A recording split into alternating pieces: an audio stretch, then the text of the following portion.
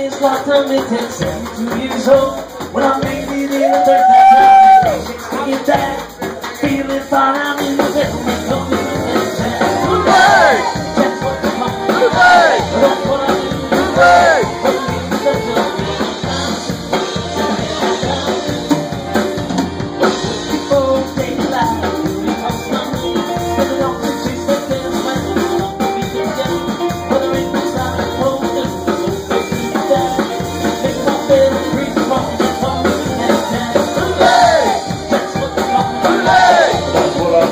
Hey!